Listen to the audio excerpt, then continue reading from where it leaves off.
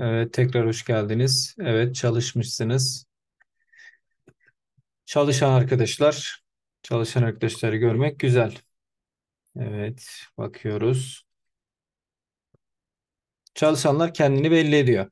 Peki, güzel. Çalışarak gelmeniz iyi. Ee, bölme, bölünebilme. Zevkli bir ders. Temel kavramlardan sonra, rasyonel sayılardan sonra zevkli derslere doğru gidiyoruz arkadaşlar. Daha güzel bu dersler. Basit bir ders ve bununla ilgili kesinlikle bir tane sorunuz var. %90 geliyor zaten bu konudan. Şimdi A'yı B'ye böldüğünüzde A bölünen, B bölen, C bölüm, D de kalan oluyor. Şimdi A buradan B ile C'nin çarpımı artı D'ye eşit. Bunu zaten bilmeniz lazım. Bu bir. Kalan e, sıfırla bakın burada kalan sıfır olabilir. Yani buradaki D ifadesi sıfırla B arasında olmak zorunda. B'yi B'den büyük ya da B'ye eşit olamaz. Kalan sıfır olabilir. En fazla B'den küçük olabilir. Mantığımız belli. Buna göre K'yı soruyoruz. Şimdi ne dedik? Burası eşittir. Şu ikisinin çarpımı artı madem burasıymış. Uygulayalım. K artı 55 eşittir. 9K artı 7. 9K'yı buraya, bu yani bu K'yı buraya, 9K'nın yanına bunu buraya, bunu da buraya aldığımızda ne olacak? 9K'dan K çıktı. 8K olacak. 55'ten 7 çıktığı zaman 48. K'yı buradan 6 buluyoruz. Basit. Burası eşittir. Şu ikisinin çarpımı artı burası. Bölme işleminde bölüm ile kalanın toplamını soruyoruz. Bölüm ile kalan yani x ile y'nin toplamını soruyoruz arkadaşlar. Bunu yapalım.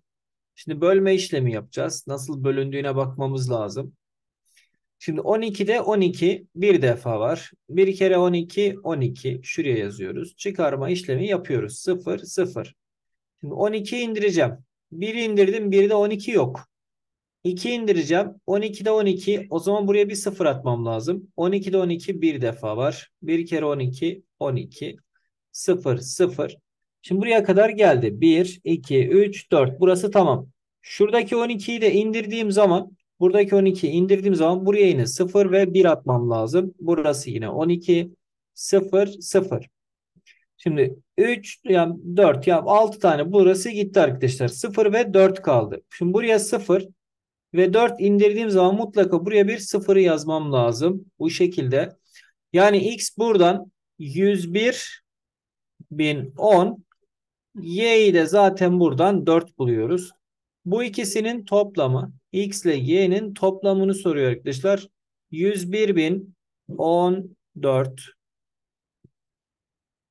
101.014 101.014 Değil mi? İkisinin toplamı.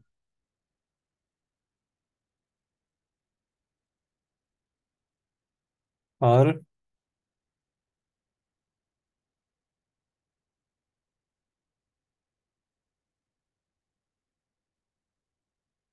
Hmm. Şöyle bir şey var. Bir dakika. Yanlış yapmış olabilir miyiz bunu? Bunu yanlış yapmış olabiliriz. Aşağı indiği için olabilir. Buraya bir tane sıfır mı atacağız? iki tane mi sıfır atacağız? Ona bakmamız lazım. Şimdi sıfırda 12 yok. 4'ü indirdik. Bakalım. Şimdi iki tane mi atmalıyız? Bir tane mi atmalıyız? Ona bakalım birlikte. Olabilir. Şimdi bakalım 12, 12, 12, 0, 4 olsun. Şimdi bunu şöyle düşünelim. Ee, 12'ye böleceğiz ya. Kalanlara 0 yazsanız. Yani buraya 12, 0, 0, 1, 2, 3, 4, 5, 6 tane 0, 4, 5, 6. Şimdi bunu 12'ye böldüğümüz zaman olması gereken mantığı düşünelim.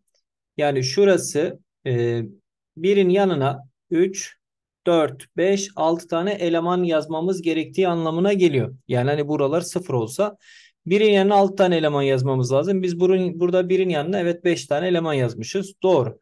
Demek ki şurada ikisi eleman, ikisi aşağı indiği için evet burada bir karışıklık var. Burada iki tane eleman aşağı indiği için ve burada hiçbir şey olmadığı için buraya iki tane sıfır atmamız lazım. Doğru. İşte burada şimdi burada mantığı bir kere daha kavrayalım. 2, 4, 6, 8 eleman var. 8 elemanı iki basamaklı bir sayıya böldüğümüz zaman 3, 6, 7 basamaklı bir sayı bulmamız lazım. Doğru. Ben 6 basamaklı bir sayı buldum.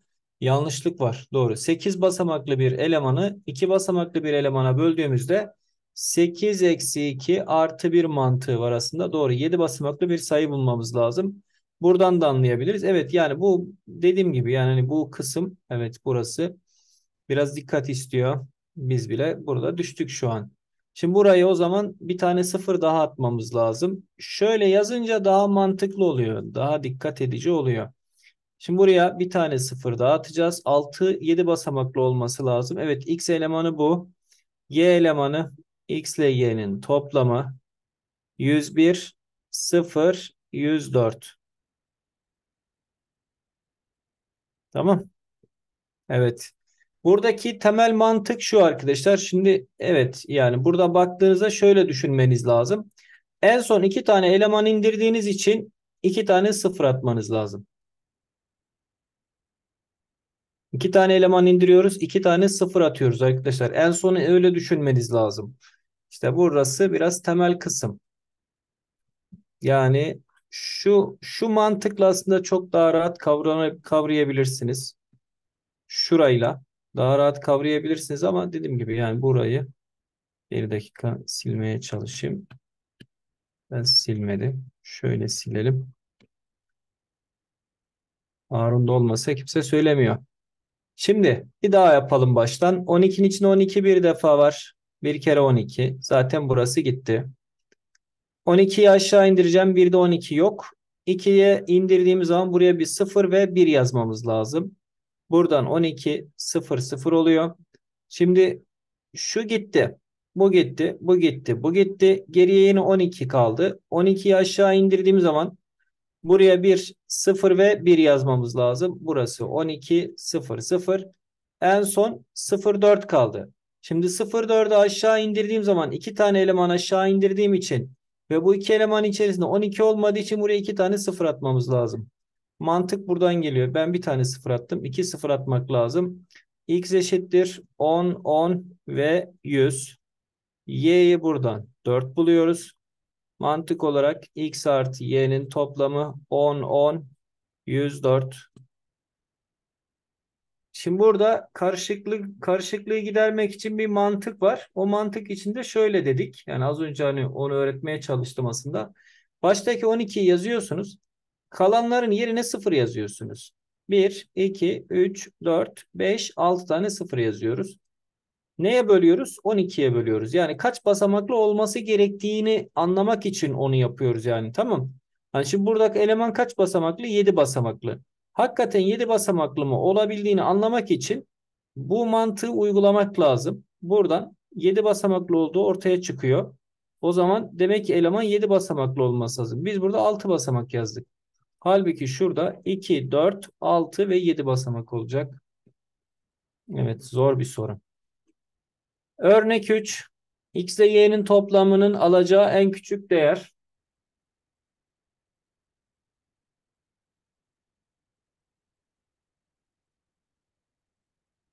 Y burada en küçük değer dediği için Y'ye ne verebiliriz en fazla? En fazla Y'ye yani en az pardon Y'ye en az ne verebiliriz? 7 verebiliriz. Hani Y 7 olmak zorunda. Şimdi Y zaten 7. X eşittir. 10 ile 7'nin çarpımı 10 çarpı 7 artı 6. Yani Y'yi buradan 7 bulduk. X'i buradan 76 bulduk. X ile Y'nin toplamının en küçük değeri 83.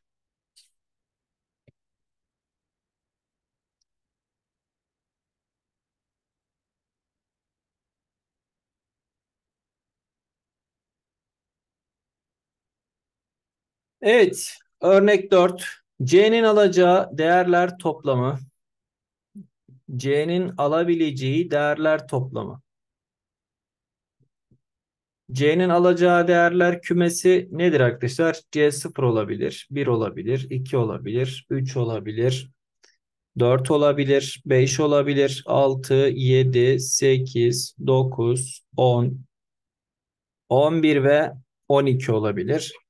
O zaman 1'den 12'ye kadar olan sayıların toplam formülü C'nin alacağı elemanların toplamı arkadaşlar. 1'den 12'ye kadar olan elemanların toplamı 12, bir fazlası 13 bölü 2'den 78 olur. 1'den 12'ye kadar olan sayıların toplam formülü arkadaşlar. Bir önceki dersimizde anlatmıştık. Buradan toplam formülü 78. Tamam. Evet örnek 5. A tam x reel sayı. Burayı iyi anlayın. A tam x reel sayı. Reel deyince işin içinde biraz farklı durumlar var. Değil mi Harun? Bölme işleminde A'nın alacağı en küçük değer. A'nın alacağı en küçük değer. X'in reel sayı olması işi değiştiriyor. Arkadaşlar. X tam sayı olsa farklı bir durum çıkar ortaya. Ama reel olunca iş değişiyor. Ve bu tür sorularda genelde buradaki eleman burada da olabilir. Aynı eleman olabilir. Şimdi e, bütünsel yaklaşmanız lazım. X karenin kendisine 6 demeniz lazım. Eğer sen x'e 4 ya da 5 gibi bir değer verirsen, x'e 3 gibi bir değer verirsen olabilir. Ama e, en küçük değer dediği için x karenin kendisine 6 demeniz lazım. O yüzden a bölü 6'ya bölmeniz gerekiyor. 4 kere 6 24. 1 ile topladınız 25. Buraya 5 demeniz gerekiyor. Bütünsel yaklaşıyoruz arkadaşlar. X reel sayı dedik. A'nın burada alacağı en küçük değer 155. 338'i 3 vererek mi yaptınız? Yani buraya 9 verdiniz. Herhalde öyle bir şey yaptınız. X reel sayı dediği için x karenin kendisine 6 demeniz lazım arkadaşlar. Yani burada x'e bir değer vermek yerine x karenin kendisine değer vermek lazım. Direkt bura 6.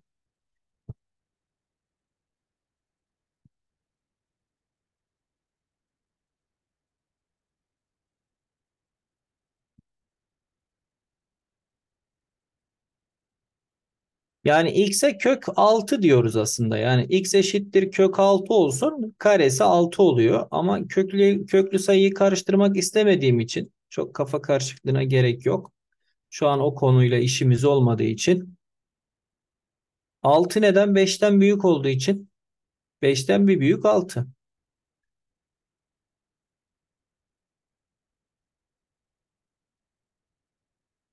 Başka türlü a'yı tam sayı bulamayız. A'nın en küçük değeri A'nın en küçük değeri ABC pozitif tam sayılar. A'nın en küçük değerini belirleyen C'nin kendisidir. C'ye 2 verebilirim ama B ne olur ona bakacağım. C'ye 2 verdiğim zaman 6 kere 2 12 bir daha 13. B'yi ne buldum? 13 buldum. Olur mu? Olmaz. Çünkü 13 20'den küçüktür. 20'den büyük olacak şekilde değer vermem lazım. Tamam. C'ye 3 verirsem 6 kere 3 18 bir daha 19 burası 19 olur. Bu benim işimi görmez. C'ye en az 4 demem lazım. Yani buradan C her türlü 4 olmak zorunda. 6 kere 4 24 bir daha 25. Yani bu arkadaş 25 olmak zorunda. Bu arkadaş 4 olması lazım. O zaman A eşittir 25 çarpı 4 artı 20. Yani A'yı buradan 120 buluyoruz. En düşük.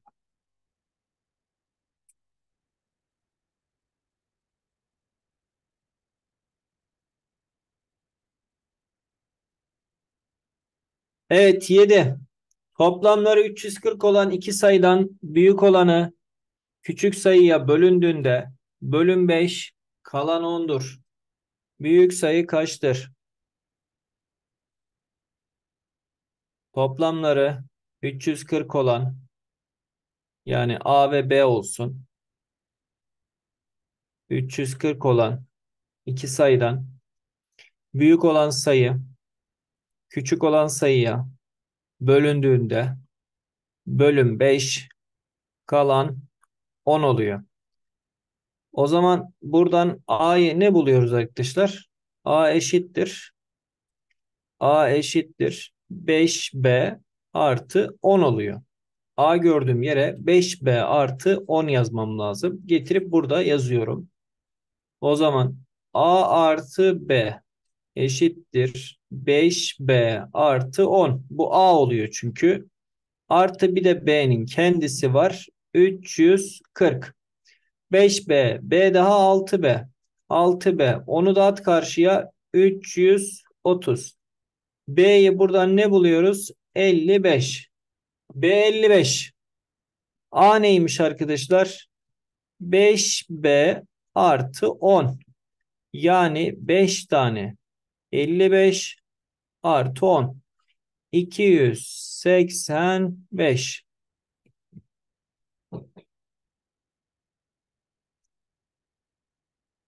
Kolay.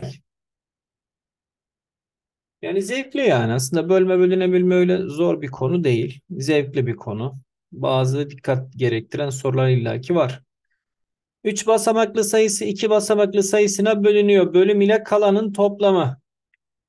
3 basamaklı sayısı 2 basamaklı sayısına bölünüyor.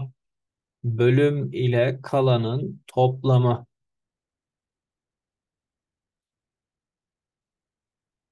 Yani AB 4'ü o da olur kardeşim. AB 4'ü AB'ye böldüğüm zaman AB'nin içinde AB bir kere var. Bir kere AB, AB.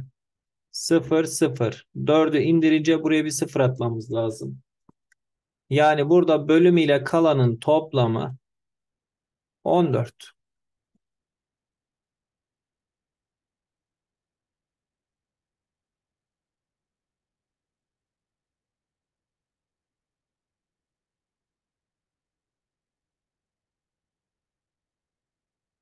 Evet 9. X, Y, Z, X, Y, Z 6 basamaklı sayısı X, Y, Z 3 basamaklı sayısının kaç katıdır?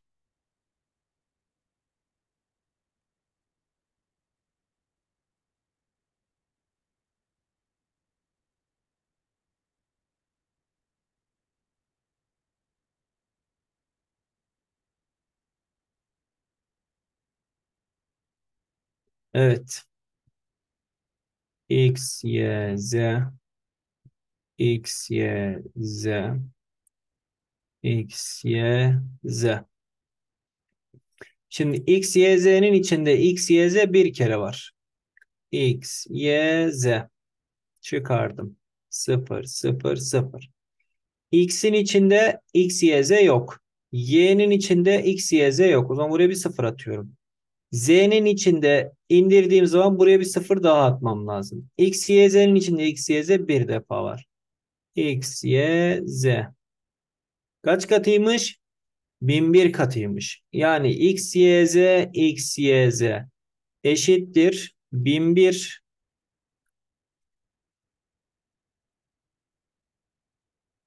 1001 çarpı X, Y, Z. 1001 katı. Evet. Şimdi burada e, eğer D C'den küçükse yani bu arkadaş normalde bundan küçük olması lazımdı. Aynı zamanda bundan da küçükse B ile C'nin yer değiştirebileceğini söylüyor. Yani burada eğer bu arkadaş normalde B'den küçüktür ama C'den de küçük olursa yer değişikliği yapabiliriz diyor. Tamam Bunu söylüyoruz. Bölme işleminde kalan ile bölenin toplamı kaçtır?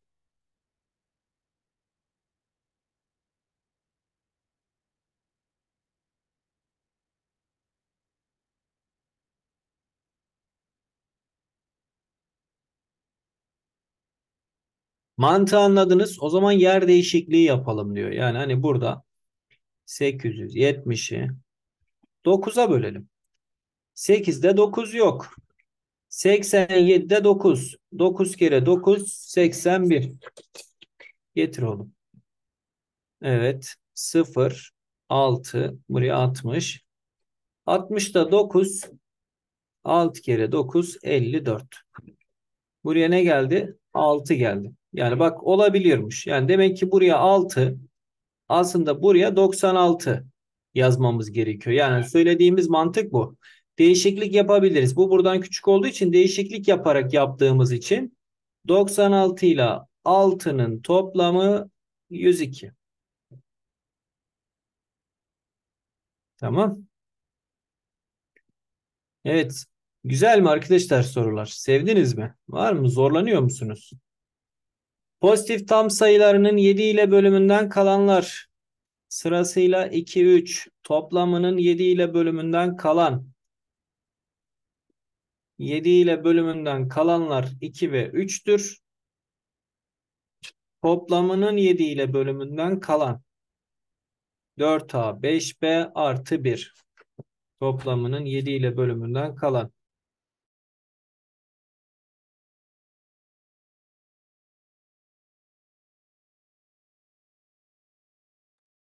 Şimdi bu tür sorularda direkt A gördüğünüz yere 2, B gördüğünüz yere 3 yazabilirsiniz arkadaşlar. Tamam. Bak direkt bunu yapabilirsiniz.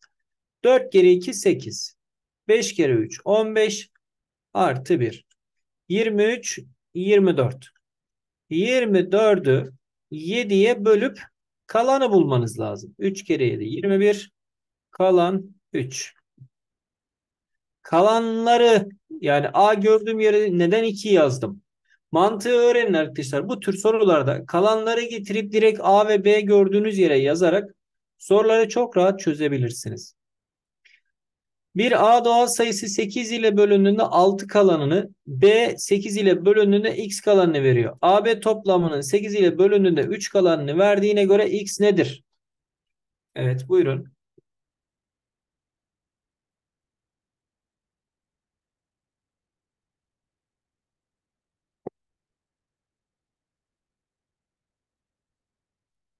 Şimdi A 8'e bölündüğünde 6 kalanını veriyorsa A gördüğünüz yere 6 yazabilirsiniz. B 8'e bölündüğünde x kalanını veriyorsa B gördüğünüz yere x yazabilirsiniz. A ile B'nin toplamı madem 8'e bölündüğünde 3 kalanını veriyorsa o zaman A ile B'nin toplamı 11 olur. Mantık belli yani. Yukarıdaki mantık aynı mantık. 11 x eşittir 5. Zamanla öğreniyorsunuz. Yani her sorunun aslında çok çok basit çözüm yolları vardır. Her sorunlu olmasa da %50, %60 soruların çözüm yolları, basit yolları illaki var. Ama e, zaman lazım, emek lazım, sabır lazım. Nasıl başlarsanız öyle gider. Ben uyarımı yapayım da nasıl başlarsanız öyle gider arkadaşlar. Tamam. Şu an programda 60 tane kayıt var. 60 tane öğrencinin derse canlı katılması lazım yarı yarıya. Her sene böyledir. Yarı yarıya katılım olur. Nasıl başlarsanız öyle gider. Kim düzenli planlı programlı başlar öyle devam ederse o kazanıyor. Evet MN iki basamaklı sayısı 7 ile bölündüğünde 2 kalanını vermektedir. MN iki basamaklı sayısı 7 ile bölündüğünde 2 kalanını veriyor. MN sayısının her rakamının değeri 3 artarsa yeni sayının 7 ile bölümünden kalan nedir? Evet buyurun. MN sayısının her rakamının değeri 3 artarsa. Şimdi arkadaşlar MN bunu 3 arttıracaksınız. M'yi 3 arttırınca ne kadar artmış olur? 30 artmış olur. N'yi 3 arttırırsanız ne artmış olur? 3 artmış olur. Yani yeni sayı 33 artmış olacak. Yeni sayı 33 artmış olacak. Bir de elimizde 2 kalan var. Bu iki kalanı da ekliyorsunuz. 35. İşte 35'i 7'ye bölüyorsunuz. Tamam. Kalan ne geliyormuş? 0 geliyormuş. Kalan kaç oluyormuş? 0 olur.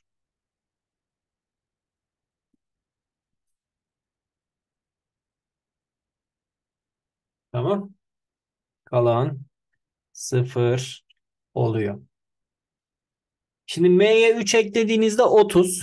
n'ye 3 eklediğinizde 3. 33 eklemiş oluyorsunuz. 2 de kalan oluyordu. 35 oldu. 35'i 7'ye bölüyorsunuz. Kalanı buluyorsunuz. Temiz. Şimdi bölünebilme kuralları var arkadaşlar. Bunların çoğunu biliyorsunuz. Yine de üzerinden ufak ufak geçelim. 2 ile bölünebilmesi için sayının çift olması lazım. Birler basamağı tek olan sayılar 2 ile bölündüğünde bize 1 kalanını verir. 4 ile bölünebilmesi için sayının çift olması lazım. Son iki basamağına bakıyoruz. Son iki basamağı 4'e bölünüyorsa sayı 4'e bölünür. Son iki basamağı çift olan sayılar da 4'e tam bölünür. Tamam. 5'e bölüm kuralı yine birler basamağını ilgilendiren bir olay. Birler basamağı 0 ya da 5 olan sayılar 5'e bölünür. Önce birler basamağını ilgilendiren kısımlar. Bak şimdi neden ben 2'den sonra 3'e değil de 4'e atladım? Mantığını öğreteceğim sana. Birler basamağı ile ilgili. Birler basamağı ile ilgili. Yani birler ve onlar basamağı. Birler basamağı ile ilgili. Yani birler onlar. O da birler sayılır. Birler basamağı ile ilgili. Birler onlar yüzler. Burada da yine birler basamağı var. Bu dört tanesi birler basamağını ilgilendiren durumlar olduğu için önce birler basamağı. Çünkü sorularda önce bunları yapmanız lazım. Bu, bu, bu, bu. Bunlardan biri varsa önce bunlar yapılır. Bir sayı 8 ile bölümünden kalan sayının son 3 basamağı. Yani birler, onlar ve yüzler basamağını ilgilendiren 8 ile bölümünden kalanı eşittir. Son 3 basamağı 3 tane 0 olan sayılar 8'e tam bölünür. Bu arkadaş da birler basamağını ilgilendiriyor.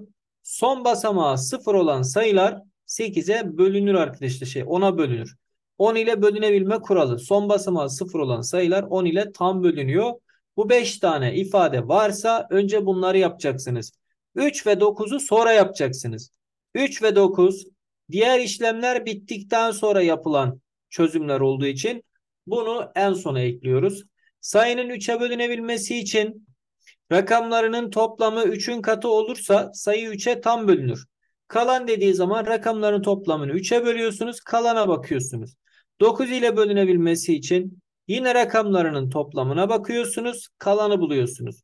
9'a bölünen tüm sayılar 3'e bölünür. Fakat 3'e bölünen tüm sayılar 9'a bölünmeyebilir. 11 ile bölünme, bölünebilme e, yani çok çıkan bir şey değil ama bilmenizde yarar var. Sağdan sola doğru yani sayımız A, B, C, D, E olsun mesela. Diyor ki buraya artı yazdınız, buraya eksi yazdınız, buraya artı yazdınız, buraya eksi yazdınız, buraya artı yazdınız. Artıları kendi aralarında A artı C artı E. Eksileri kendi aralarında B artı D. Bunları kendi aralarında topluyorsunuz. Çıkarma yapıyorsunuz. Eğer sonuç sıfırsa, sonuç 11 ise ya da sonuç eksi 11 de olabilir. Bazen bu sayı 11'e tam bölünür demek. Sonuç bazen 22 de olabilir. Yani 11'in katı olmak zorunda ya da 0 olmak zorunda. Tamam. Sonuç 3 ise kalan 3'tür. Sonuç 5 ise kalan 5'tir gibi düşünmeniz lazım. Sonuç bazen negatif çıkabilir. Olur mu? Olur. Sonuç negatif çıkarsa kalana 11 ekliyorsunuz. Yani diyelim ki bu işlemi yaptınız sonuç eksi 3 çıktı. O zaman 11 ekliyorsunuz. Kalan ne çıktı? 8 oluyor. Yani bu şekilde düşünmeniz lazım. 25 ile bölünebilmesi için e, son iki basamak çift 0, 25, 50, 75 olursa bu sayılar 25'e bölünür demek. Aralarında asal sayıların çarpımı şeklinde olan sayıların bölünebilmesi arkadaşlar bunun sonu yok. Yani bunları istediğiniz kadar genişletebilirsiniz. 6'ya bölünebilmesi için sayının 2 ve 3'e bölünmesi lazım. 12'ye bölünebilmesi için 3'e ve 4'e bölünmesi lazım. 18'e bölünebilmesi için 2'ye ve 9'a bölünmesi lazım. 36 için 4'e ve 9 aralarında asal olan sayıların çarpımları şeklinde düşünerekten işlemimizi yapıyoruz. Aralarında asal olan sayıların mantığı var burada. Tamam Yani siz 18'e bölünebilmesi için sayıların 3'e ve 6'ya bölünmesi gibi ifade yapamazsınız. 3 ile 6 aralarında asal değil. 2'ye 9 yapacaksınız. 45'e bölünebilmesi için sayının 5'e ve 9'a bölünmesi. 60 için 3, 4, 5. Bu detaylandırılabilir. Yani bunun bir sonu yok arkadaşlar. Tamam mı? Bunları bilmenizde bilirsiniz zaten. Önemli olan yukarılardı. Bir sayı hem 9'a hem de 4'e bölünüyorsa, bakın hem 9'a hem 4'e bölünüyorsa, birler basamağını ilgilendiren kısım 4 olduğu için önce 4'e bölme, bölme bölünebilme kuralını yapıyoruz. Sonra 9'a bölme bölünebilme kurallarını yapacağız arkadaşlar. Tamam. Yani 2, 4, 5, 8 ve 10 önce bunları yapıyoruz. 3 ve 9'u sonra yapıyoruz. Mantığını anlayalım. Gerisi kolay. Sayısının 3 ile bölümünden kalan 2. 3 ile bölümünden kalan 2.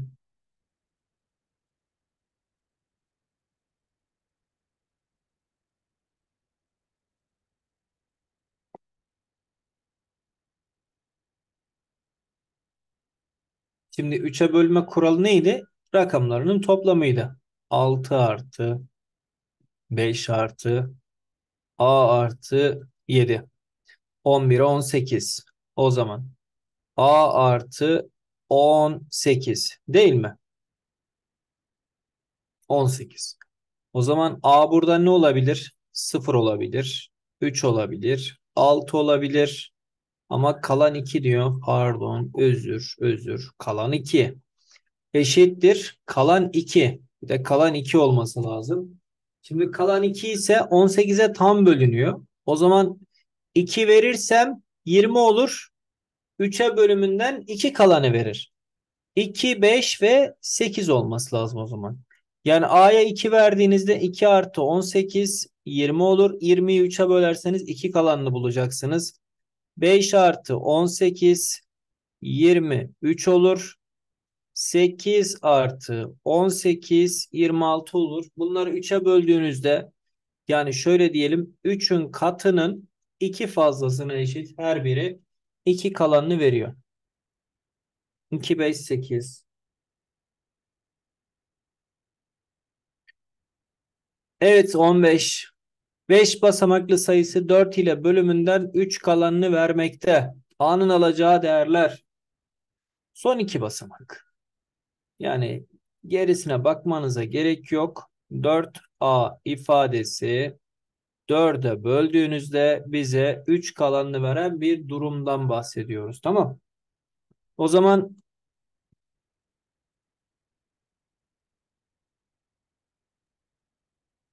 kırk üç olabilir. Kırk üç olabilir. Kırk yedi olabilir. Değil mi? Kırk yedi olabilir. A'nın alacağı değerler A buradan 3 ve 7 olabilir. A'nın alacağı değerler toplamı 10 olur.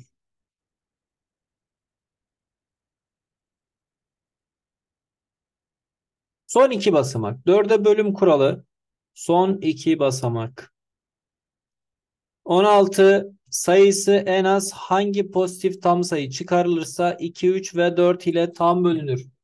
Sayısından en az hangi pozitif tam sayı çıkarılırsa 2'ye, 3'e ve 4'e tam bölünür.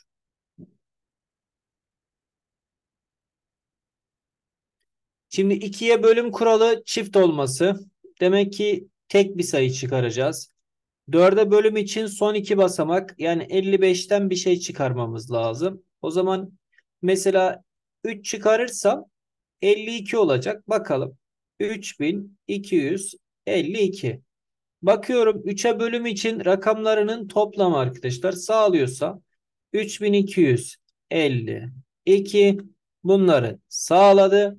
Demek ki en az 3 çıkarmamız lazım ki bu sayı 2'ye, 3'e ve 4'e tam bölünsün.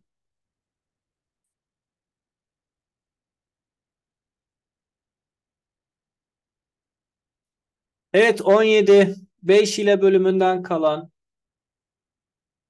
sayısının 5 ile bölümünden kalan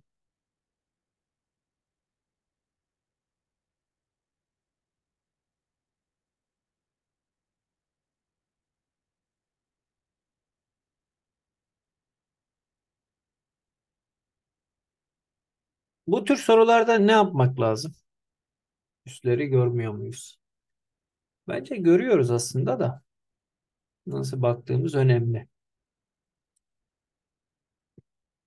Bence önce altlara bakmak lazım. Yani 2020'yi 2020'yi son rakama bakabiliriz. Doğru. Yani son rakama bakmak lazım. 2020'yi 5'e böldüğünüzde kaç kaldığına bakmak lazım. 0. O zaman buraya 0 yazabilirim. 2021'i 5'e böldüğünüzde kaç kalıyor? 1. O zaman buraya 1 yazıyorum. 2022 5'e böldüğüm zaman 2 kalıyor. O zaman buraya da 2 yazıyorum.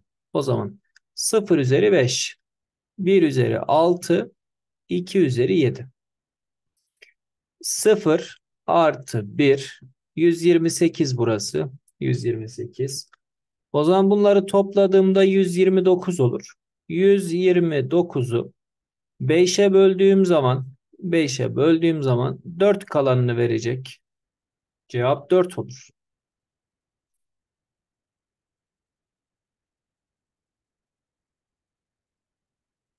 Yani burası 25 olur.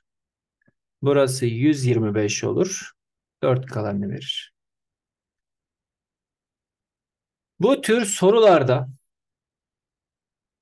yeterli zaten son haneler de mantığı öğrensinler diye yapıyorum. Bu tür sorularda önce aşağının 5'e bölümünden kalan dediği için aşağıyı 5'e bölüyorsunuz. Kaç kalan var onu buluyorsunuz.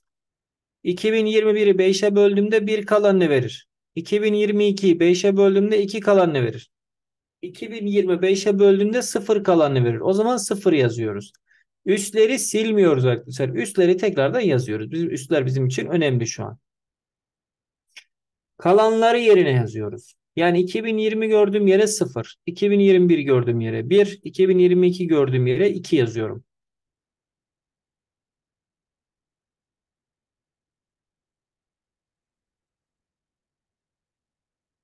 Evet 18 5 ile bölümünden kalan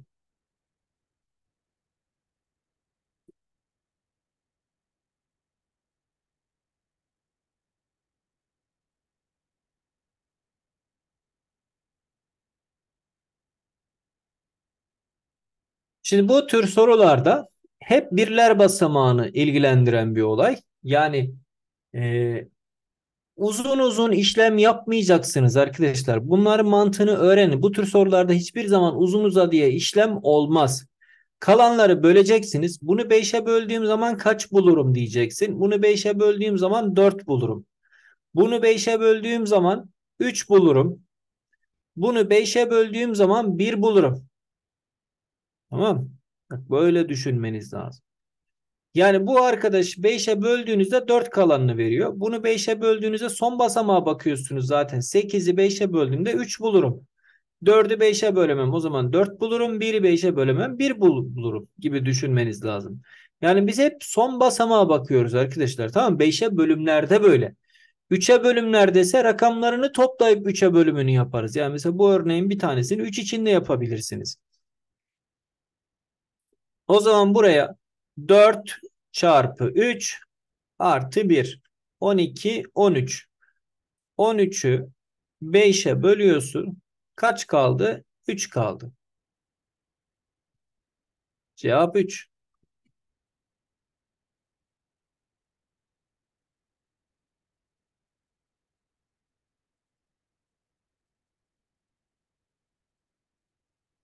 On beş ile bölümünden kalan sayısının 15 ile bölümünden kalan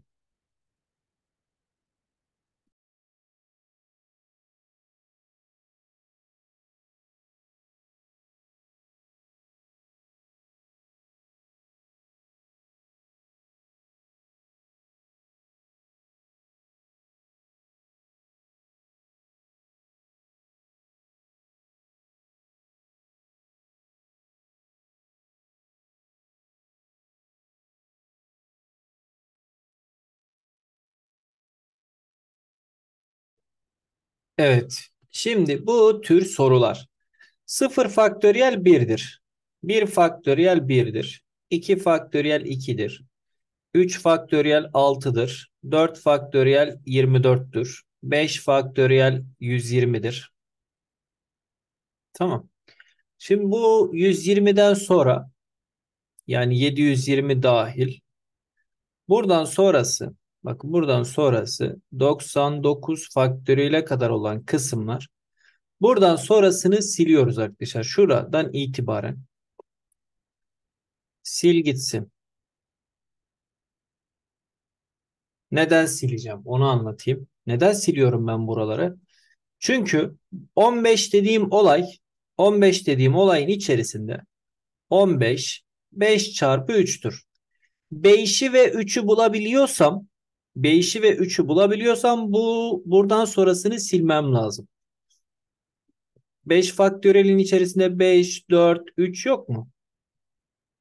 Yani 15'e bölünebiliyor. 5 faktöriyel 15'e bölünür.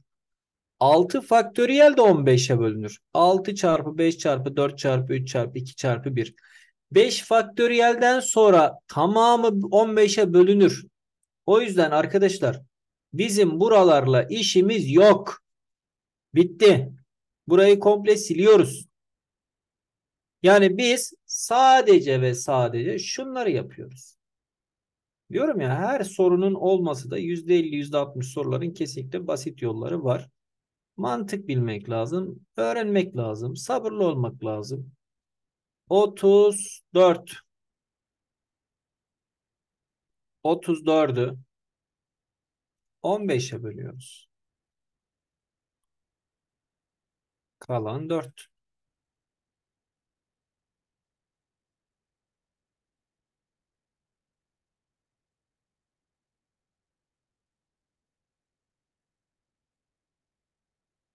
Yirmi. Evet. Rakamları birbirinden farklı olan 3 basamaklı 7AB sayısı 3, 4, 5 ile tam bölünüyor. A kaç farklı değer alabilir? Evet. 3'e, 4'e, 5'e tam bölünüyormuş. A kaç farklı değer alabilir?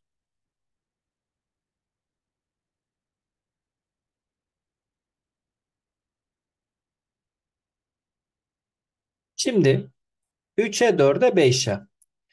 Bir sayı hem 4'e hem de 5'e bölünebiliyorsa bu sayının son basamağı 0 olmak zorunda. Neden? Sayı bir kere çift olacak. 4'e bölünebiliyorsa sayı bir kere çift olması lazım. 5'e bölünebiliyorsa son basamak 0 ya da 5 olması lazım. E, çift ve 5 olacaksa yani çift ve 5'e bölünebilecekse 0 olmak zorunda. O zaman buradan B'yi kesinlikle 0 buluyoruz. Yani B buradan her türlü 0 arkadaşlar. 7A 0 sayısından bahsediyoruz. Geriye kaldı 3'e bölüm kuralı. 4'ü ve 3'ü bulacağız. 4'e ve 3'e bölünebilecek şekilde yapmamız lazım. Yani burası 720 olabilir. 750 olabilir. 780 olabilir. 3'e ve 3'e bölüm kuralı. Bir de 4'e bölüm kuralı mantığı var. Dolayısıyla 750 4'e bölünmez. Bunu da siliyorum. Yani bu sayı ya 720'dir kardeşim ya da 780'dir. Bu kadar.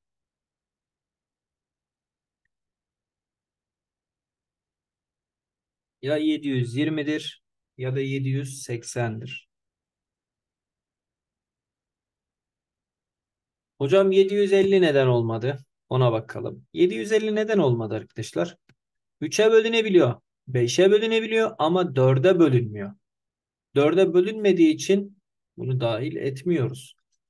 54'e bölünmez çünkü. Evet 21. X, Y, Z 3 basamaklı sayısının 6 katı AB 20 olduğuna göre güzelleşiyor mu sorular? X, Y, Z sayısının 6 katı A, B 20 olduğuna göre A ile B'nin toplamının en büyük değeri. Bakalım. Hadi bakalım. Nasıl bir mantığınız var burada? AB toplamının en büyük değeri sizce kaçtır?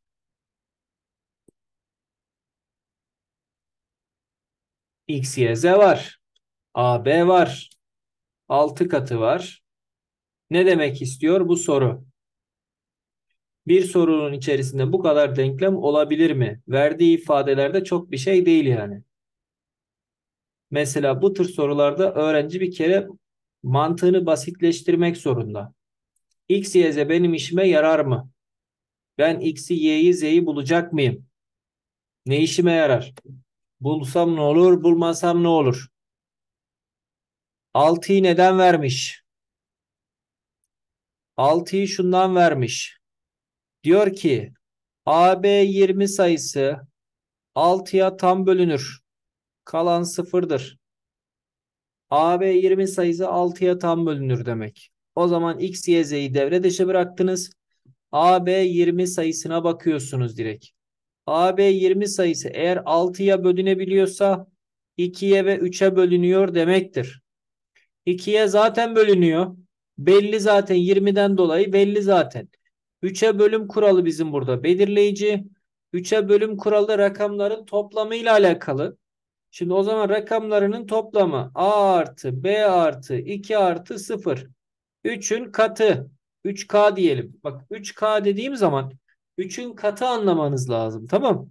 3'ün katı olacaksa şimdi buraların toplamı en fazla 16 olur. 2 daha 18. Etti 18. Yani 16 verebilirim ben buna. Ha buralara başka şeyler de verebilirim. Nedir mesela? Ee, 1 olabilir burası. 1 olabilir. 4 olabilir. 7 olabilir. 1, 4, 7. 10 olabilir. 13 olabilir ve 16 olabilir. 19 olmaz çünkü A'ya 10, B'ye 9 demen lazım. Böyle bir şey mümkün değil. O zaman buradan 1, 4, 7, 10, 13, 16 olabilir. A ile B'nin toplamının en büyük değeri 16. Bazen bütünsel yaklaşmak lazım. A'yı ve B'yi ayrı ayrı bulmanıza da gerek yok. Toplamını bulabilirsiniz direkt. Yani burada ipucu X, Y, Z filan değil. İpucu sarı olan 6'dır. Gerisi çıkıyor zaten. X, Y, Z kafa karıştırmak için verilmiş olabilir. Rakamları farklı. 6 basamaklı sayısı 6 ile tam bölünüyor. 6'ya bölüm kuralı neydi? 2 ve 3. 6'ya bölünebiliyorsa 2'ye ve 3'e bölünüyordur. 2'ye bölüm kuralı sayının çift olması. 2'ye bölüm kuralı. Önce 2'ye bölüm kuralını yapacaksınız. Yani y buradan 0, 2, 4, 6 ve 8 olabilir. Rakamları farklı dediği için 0 veremem. 4 veremem. 8 veremem. Y'ye buradan 2 verebilirim. 6 verebilirim. Tamam. O zaman buna göre sayımız şekilleniyor. 3, x, 0, 48, 2. Bu 1. Diğeri de 3x, 0, 48, 6. Yani y'ye 2 ya da 6 diyerek 2 tane sayı buluyorum. Buradan bir de x'i bulmam lazım. X'i bulmak için de bu sefer neyi kullanıyorum? 3'e bölüm kuralını kullanıyorum. Bak y'yi bulmak için şöyle yeşil yapayım anlayın. 3 için bunu kullandım. 2 için y'yi kullandım. Onu oradan buldum. Öbürünü de oradan bulacağım. Şimdi 3'e bölüm kuralı ne? Rakamlarının toplamı. Toplayalım kardeşim. 10, 14, 17. 1 eklersem 18. O zaman 1, 4, 7. Anlayalım. Sonra sileceğim eşit olanları. 10, 18, 21. O zaman bu arkadaşlar 0, 3, 6 ve 9 olabilir. Şimdi eşit olanları siliyorum. 1 olabilir. 4 olmaz. 4 var çünkü burada. 7 olabilir. Eyvallah. Buraya 0 veremem. 3 veremem. 6 veremem. Bu da 9 olabilir. X'in burada alacağı değerler 3 tane değerdir arkadaşlar. 1, 7 ve 9.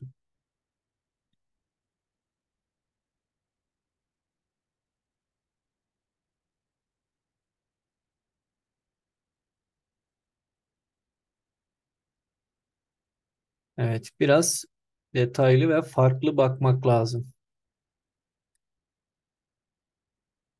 Geçiyoruz 23. Sayısının 9 ile bölümünden kalan 1, 4 ile bölümünden kalanların toplamı. 9 ile bölüm neydi? Rakamlarının toplamı.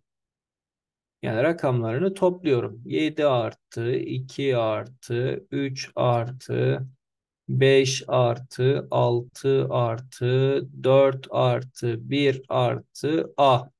Şimdi ben şöyle yazıyorum genelde. 9'un katı artı 1. 9'a böldüğümüzde bir kalanını vermesi lazım. O zaman şöyle 9, 12, 18, 24, 28, 29. Yani şu arkadaş 29 artı A.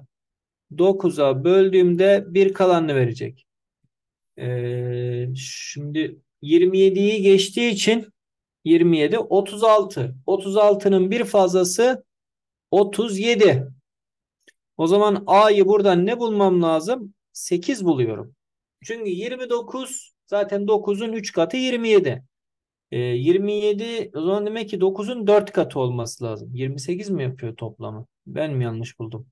9, 12, 18, 24, 28, 29 yapıyor. Yanlış mı yapıyoruz? Toplamı kaç? 10, 12. Allah Allah. 10, 12. Ha 12'den sonra niye 18 yaptım? Pardon. Özür. 10, 12 diyorum. 18 diyorum. Bak bu 5'e ekliyorum. 18 diyorum ya. Yok. Tamam. 28 bura. Pardon. Özür. Şimdi buradan yani 9 olanları da çizebiliriz aslında. Doğru. O da var. 28 artı A. Zaten bu 9'a böldüğünde bir kalanını verir. Doğru. A buradan 0 olabilir. 9'a böldüğümüzde bir kalanını veriyor. Ee, 0 olabilir. Hmm. 9 olabilir.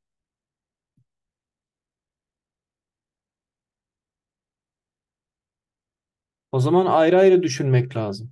0 olabilir, 9 olabilir. A buradan 0 da olabilir, 9 da olabilir.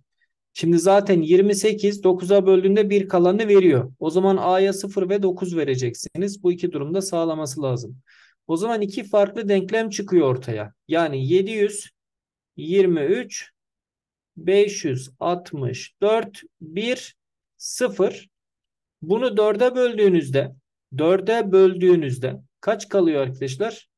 2 kalıyor. Yani bunu 4'e böldüğünüzde 2 kalır. Çünkü 10'dur. Onu 4'e böldüğünüzde 2 kalması lazım. Bu bir. Diğer durum, diğer bu sefer 9'u düşünerekten yapmanız lazım. 723, 564, 19. Bunu 4'e böldüğünüzde 3 kalması lazım. Nereden anlıyoruz? Son basamak 19. 19'u 4'e böldüğünüzde 3 kalıyor. Ee, 10'u 4'e böldüğünüzde 2 kalıyor. 4'e bölümünden kalanların toplamı 3 artı 2 eşittir 5.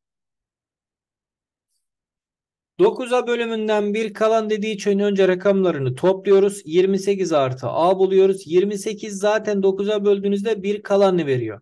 Zaten burası şartı sağlıyor. O zaman A'ya 0 ve 9 dememiz lazım. İki türlü düşünmeniz lazım arkadaşlar. Tamam. Ondan sonrası zaten kendiliğinden çıkıyor. 11 ile tam bölünebilmesi için A kaç olmalıdır? 11 ile tam bölünebilmesi için dedik artı eksi artı mantığı var. Artı eksi artı eksi artı eksi artı eksi. Şöyle yapalım. Biraz karışık olacak çünkü. Şu arkadaş artı bu arkadaş artı bu arkadaş artı. Bu arkadaş artı. Yukarılar eksi. Şurası eksi. Burası eksi. Burası eksi. Burası eksi. Artıları kendi aralarında. Eksileri kendi aralarında.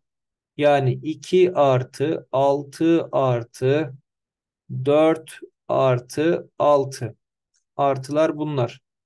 Eksileri kendi aralarında. 1 artı 3 artı 5 artı A. 11 ile tam bölünebilmesi için 0 olması genelde 0 kullanıyoruz. Unutmayın. Şimdi buna bakıyoruz. 10, 16, 18. 18 eksi Şurası 8, 9. 9 artı A. 9 artı A.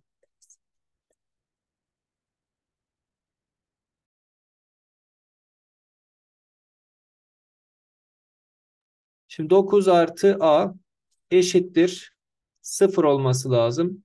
Dolayısıyla A'yı buradan 9 buluyoruz. 11 ile bölüm kuralı. Evet, son sayfa. Sayısı 12 ile bölündüğüne göre A kaçtır? 12'ye bölüm kuralı ne arkadaşlar? 3 ve 4. Önce birler basamağını ilgilendiren bir durum var. Birler basamağını ilgilendiriyor. Dolayısıyla 56 789 yani A buradan 0 0 olabilir. Bakın 0 0 olabilir. Bu 1. 56 789 A burası 0 0 ya da 20 olabilir. Bu şekilde düşünmeniz lazım. 56 789 40 olabilir. 56 789 60 olabilir. 56 789 80 olabilir. 4'e bölüm kuralı bu. Buralara 10 veremem. Yani burası 10 olmaz. 30 olmaz, 50 olmaz, 70 olmaz, 90 olmaz. 3'e bölünebiliyor mu? Ona bakacağım şimdi. Ya bu tür sorularda arkadaşlar mesela yani 9'u direkt silebilirsiniz. Çünkü 3'e tam bölünüyor. Yani bu şekilde kendinize zulmetmeyebilirsiniz. Ben genelde öyle yapıyorum ama burada hani bazen öğrencinin kafası karışıyor. O yüzden çok girmek istemiyorum meselelere. Şimdi 17, 24, 30, 35. Bu arkadaş 3'e böldüğünde 2 kalan ne verir? Bu eleman olmaz. Geldim buraya. 11, 19, 26, 33, 38, 26, 31 dakika ot, aynen kafam karıştı. 32, 37. Bu arkadaş 3'e böldüğünde 1 kalan ne verir?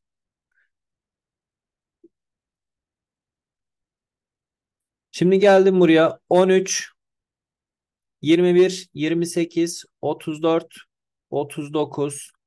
Bu arkadaş 3'e böldüğünüzde 0 kalan ne veriyor? 39'a tam bölünüyor. Bu oldu.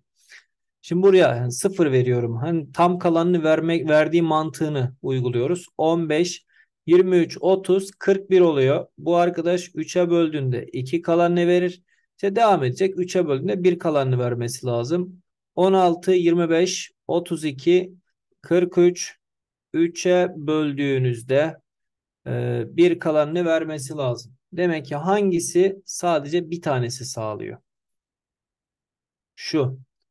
Yani A'yı buradan 4 buluyoruz. Ya bu şekilde uzun uzadıya tabii yazmıyoruz yani. Sınavda öyle yapmıyoruz. Ne yapıyoruz? 20, 40, 60, 80, 0, 0 vesaire hangisi sağlıyorsa tak tak tak toplayıp bakıyoruz yani. Böyle uzun uzadıya kimse yazmaz. E ders anlatıyoruz mecbur uzun uzadıya yazıyoruz arkadaşlar tamam 26 sayısı 15 ile tam bölünebilmekte. 15'e bölüm kuralı ne? 3 ve 5. 5'e bölüm kuralı son basamak 0 ya da 5. O zaman 5'e bölüm kuralını düşündüğümüzde 99'a 70 öbür eleman 9a 75. Bunu düşünmek lazım. Yani B'nin en büyük değeri dediği için ya bunu vereceğim zaten ya bunu vereceğim. İkisinden birisi olması lazım. 3'e bölüm kuralı için de buradan bakıyorum. 16, 18. Yani bu arkadaş 2, 5 ve 8 olabilir. Bu arkadaş şimdi 11, 12, 21. O zaman bu arkadaş 0, 3, 6 ve 9 olabilir. E, o zaman buradan baktığımızda en büyük değer dediği için bu arkadaşa 5, bu arkadaşa 9 verebilirim. Dolayısıyla en büyük sayı 99, 75 sayısı A ile B'nin toplamı 9 artı 5'ten 14.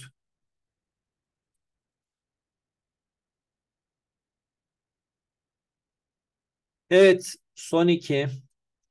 Sayısı 24 ile tam bölünebilmekte. 24'e bölüm kuralı nedir? 3 ve 8. Önce 8'i yapmamız lazım. Hmm.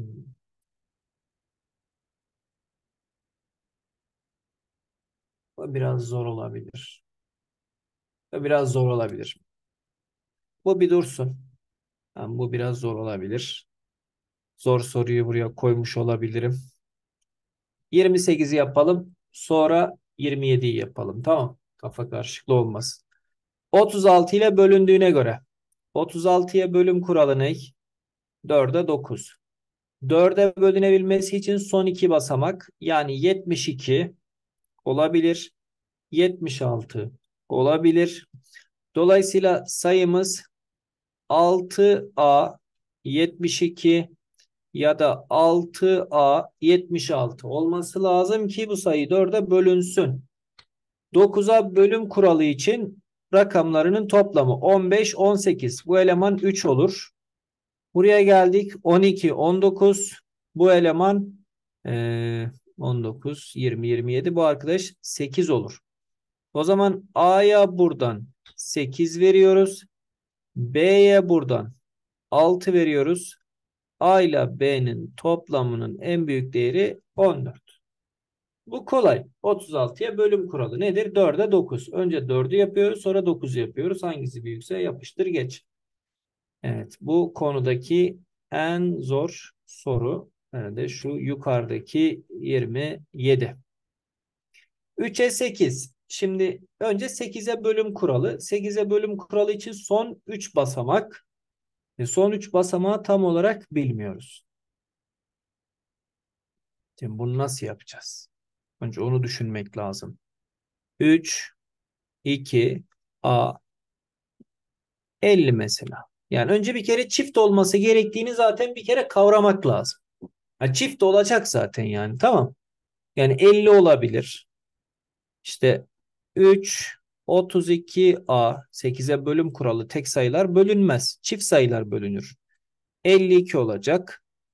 İşte 32A 54 olması lazım. Bir bakalım.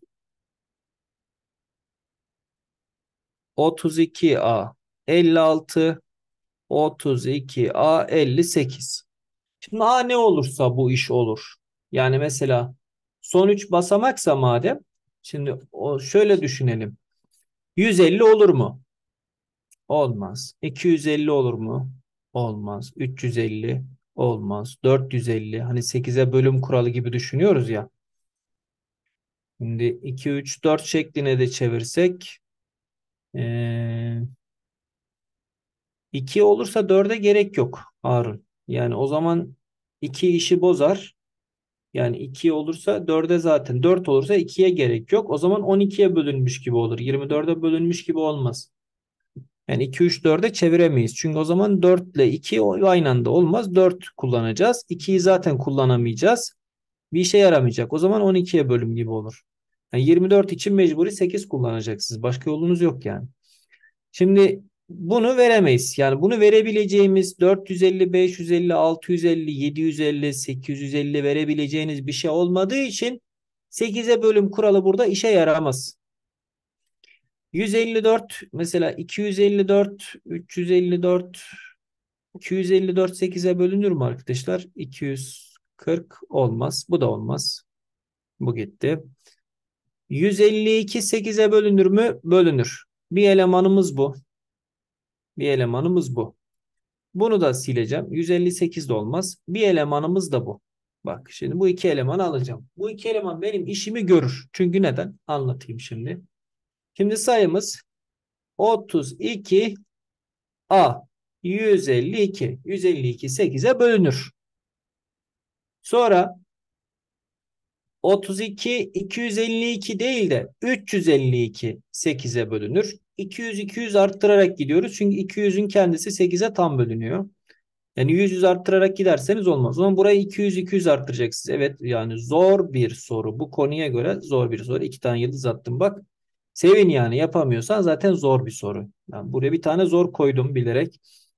Bir bakayım dedim. 32 552 32 752 32 952. Bunların hepsi 8'e bölünüyor arkadaşlar. 3'e bölünüyor mu? Asıl sorun o. 3'e bölünüyor mu? Bir de ona bakacağız. 5, 6, 8, 13 3'e bölünmez. Geldim buraya 5, 10, 13, 15 3'e bölünür. 10, 15, 17 3'e bölünmez. 12, 14, 19 3'e bölünmez. Zaten bu 3'e bölüm kuralı. 300 şu arkadaş bölünecek. 14, 16, 18, 21 3'e bölün kuralı bir de bu. Yani bu iki şartı buradan sağlayabilirsiniz. Buradaki 152 ya da 052 de olabilir mi? Olmaz. 152, 352, 552, 752, 952 oradan geliyor. Bir de sona 56 olan bir eleman. Yani 32, 056 olabilir. 8'e her türlü bölünüyor. 32, 256 olacak. 200, 200 arttırarak gidiyoruz arkadaşlar. 32, 456, 32, 656, 32, 856. 3'e bölünüyor mu ona bakacağız. 11, 16 3'e bölünmez. 11, 13, 16, 18 3'e bölünür.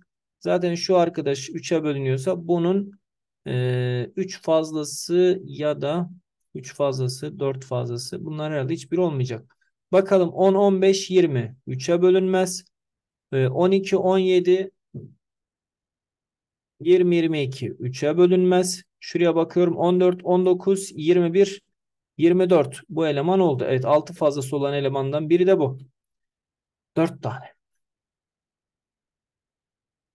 Gerçekten zor bir soru. A buradan 4 değer alır. A'nın alacağı değerler de arkadaşlar. Ee, 3 olabilir. 9 olabilir. 2 olabilir. 8 olabilir. Zaten bu soruyu yapanın hiçbir şeye ihtiyacı yoktur. Evet kapanışı böyle zor bir soruyla yaptık. Bir tane koydum. Kusura bakmayın yani artık böyle bir tane zor soru koydum buraya. Yani koz kalsın. Böyle sorular da var. Bilginiz olsun. Bu kadar zor olmaz. Sınavda da gelmez bu soru. Bu kadar zor soru asla zaten gelmez. Ama nedir? Yani temel kavramlar da olsa, basit konularda olsa, basit konuların içerisinde zor sorular olabilir.